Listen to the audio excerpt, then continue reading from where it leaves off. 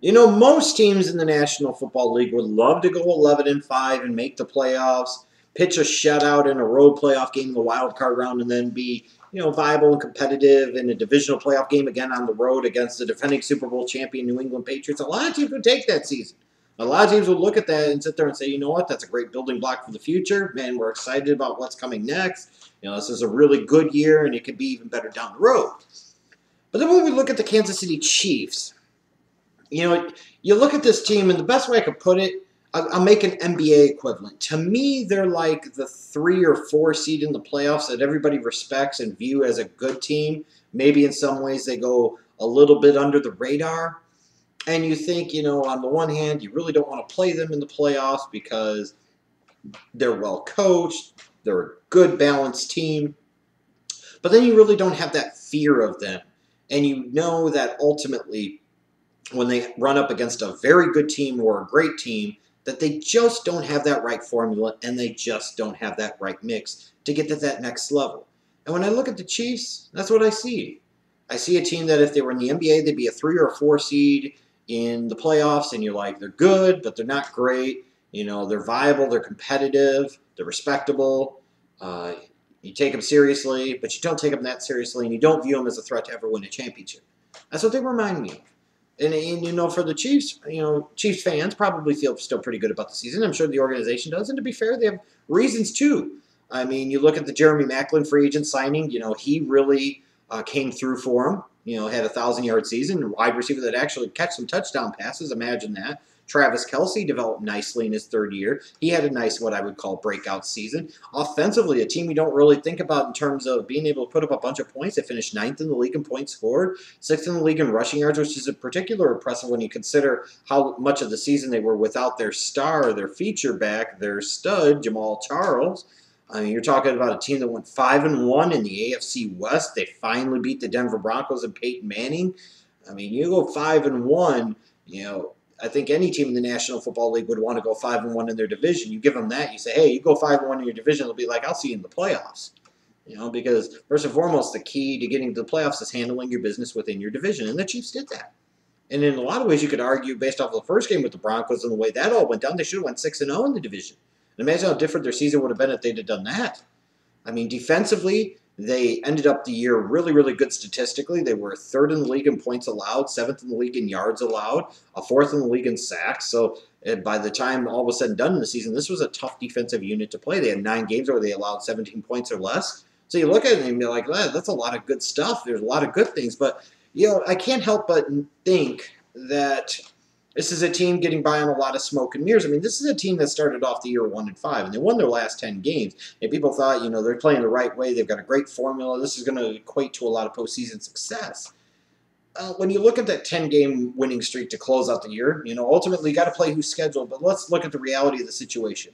They were playing the Pittsburgh Steelers team that was starting Landry Jones. They were playing the terrible Detroit Lions team at the time that was falling apart at the seams, and they were in London.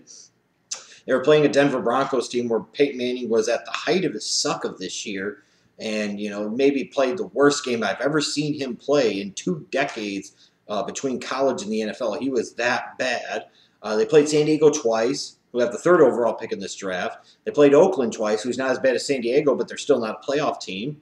Um, you know, you're talking about they played the Ravens, who have the sixth overall pick in the draft. They played the Browns, who have the number two overall pick in the draft, and then they played the Bills, another team that missed the playoffs. So out of those last 10 games of the season, eight of them came against non-playoff teams. And the two games that they did win against playoff teams in that stretch was a Pittsburgh Steelers team playing really with the third-string quarterback in Landry Jones and a terrible Peyton Manning. So it's kind of like, yeah, they won 10 games, but yeah, they won 11 games for the season, but you know, this was a team that made it to the divisional round of the playoffs, but it's always like there's a yeah, but with this team. I mean, it doesn't help, like I said, in terms of things that didn't go well. You lose Jamaal Charles early on in the year to the knee injury. You know, that sucks because he's your best player. And to lose a guy like that that can impact the game both on the ground and in the air, you know, not too many teams can recover from that. And the Chiefs, I thought, did a good job, the best they could. And it was ironic they played a lot better once he went out with injury. But at the end of the day, at some point in time, that's going to catch up with you. Uh, you're talking about a team that really struggled to protect Alex Smith. I think they gave up like 45 sacks on the year. If you, it's one thing if you can rush the opposing team's quarterback, that's great. But if you can't protect your own quarterback, you're going to be in a lot of trouble. So a guy who already struggles to stretch teams vertically down the field, if you're not giving him a lot of time to throw, you know, that limits the amount of time that he has to go through his progressions. That means he's going to do a lot of checkdowns. He's going to make a lot of short throws, meaning defense is kind of kind of sagging, and you're lacking for big plays on the offensive side of the ball. Well, the Denver loss in Week Two on Thursday night was really bad. I mean, that was just another example of horrible game management by Andy Reid in a catalog of a career full of them, which is a shame because he's such a good coach in so many other ways. But he's so terrible when it comes to game management, time management, clock management. It's atrocious. Why the hell are you handing off the ball to Jamaal Charles in that situation? Just take the knee, go to overtime, and take your chances there. And then the loss to Chicago. You can't lose to the Chicago Bears. You're supposed to be a superior team to them. You have no business losing to them. I mean, you think about it, you know, how much see, differently does the entire season play out for the Chiefs if they beat the Chicago Bears? They're a 12 and 14. Maybe they win the division. You know, if they beat Chicago and they find a way to win in overtime against the Broncos in week two, they're 13 and 3. Not only are they winning the division, you're talking about a team that has the number one overall seed in the AFC playoffs, and then who knows? All bets are off. You know, so it's the one and five start was bad, but when you look at it, they played some good teams like Denver and Green Bay and Cincinnati and Minnesota. Those are all teams that made the playoffs. You know, so it's not the worst thing in the world. It was that Chicago loss in particular that was really, really bad, though. You know, and ultimately, again, when I come to this organization, at the end of the day, there are two things that really hold them back. It's really bad clock management and game management by Andy Reid, and I just don't understand how this guy doesn't get it after all these years. He sucks at it. So many other things he does so well, and he's so terrible at this. And I also come back to their quarterback situation. It's been over three decades since this team spent a first round pick on a quarterback, and even back then in 83, it was Todd Blackledge. Oops. You missed out on Jim Kelly. You missed out on Dan Marino. For Christ's sake, you even missed out Ken O'Brien, for God's sake. Um, you're not going to get anywhere with Alex Smith. You're just not a championship contending team with Alex Smith. He doesn't produce enough of big plays. He plays too close to the vest, and he doesn't have nearly the arm strength to be able to stretch teams down the field vertically enough to introduce the big play element that you sometimes need in your offense. Alex Smith is the epitome of a game manager in today's NFL. You're just not going to win championships with a game manager. For those that say the Denver Broncos won uh, Super Bowl 50 with Peyton Manning as a game manager, you're a fucking idiot. He wasn't managing anything.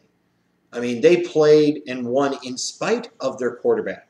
Because even for a game manager, a game manager doesn't have two turnovers in the biggest game of the year. That's not a game manager. He was terrible. You know, Alex Smith manages the game, sure, but when it's all on the line. Is he going to produce those big plays? Is he going to lead you over the hump? Is he going to be able to take a team on his back? No. He's a guy that you win games with. He's not a guy you win a lot of games because, and in particular, you don't win big games because of him. And at the end of the day, until the Kansas City Chiefs, and this is what I allude to back a few years ago when I talked about them trading for Alex Smith and giving up the two second round picks. I even talked about it back then. I'm like, you know, this team will get to the playoffs with him probably in his first year there, and people are going to be fooled into thinking this was a good move. And it wasn't because at the end of the day, what happens is the Kansas City Chiefs are who they are, and they're not going to go any further than what they are until they find a better answer at quarterback, a guy with a stronger arm that can make more big plays. It's that simple. When you point to the draft, that's their number one need. It's quarterback. And I don't mean to make this just an Alex Smith bash piece, but Jesus Christ, you know, at some point in time, we got to be, you got to be honest. You got to sit there and say, are you really going to win a championship with this guy? And the answer is a most unequivocal no.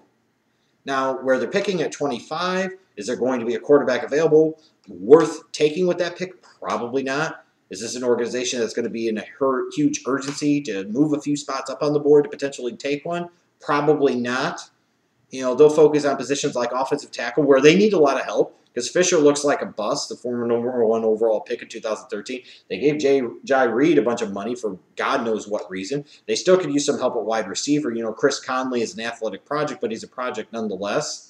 You know, they could use another better complement to Jeremy Maclin on the outside, even though at the end of the day, you wonder really how much that actually matters with Alex Smith throwing the ball.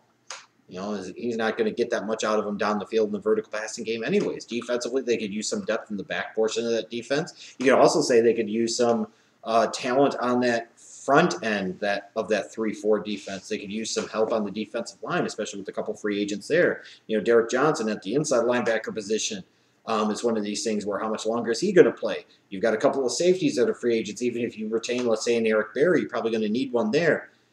And the Chiefs are in, a, in an odd spot here because they can focus on other areas, they could get some good players and they could get better as a team.